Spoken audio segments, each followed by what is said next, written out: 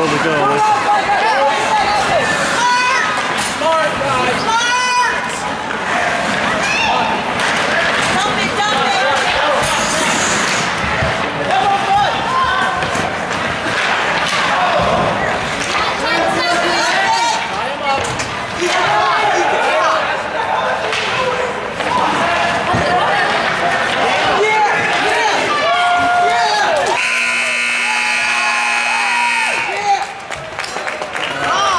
We lost by one. Two goals right there.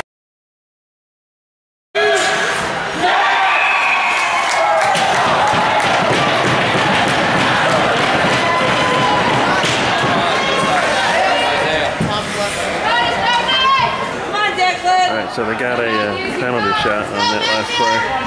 That's the result of the last one.